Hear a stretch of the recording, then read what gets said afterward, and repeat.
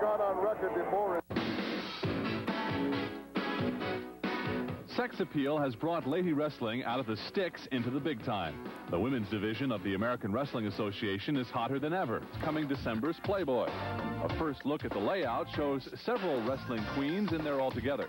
Mimi Lesseos, in her backyard, trains a troupe that she promotes called Body Slam. And she's the former champ of the American Wrestling Association. Mimi bared her all in Playboy, and she's proud of it. If I have a body and I'm still young, why not flaunt it? Why not show it?